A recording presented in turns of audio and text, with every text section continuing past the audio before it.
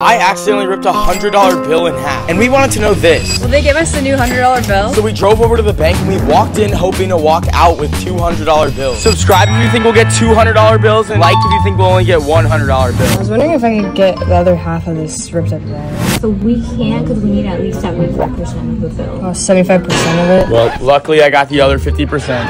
We were just testing you. I'm sorry. All right, well it worked. Wait, now rip it again and we'll get another one. Subscribe.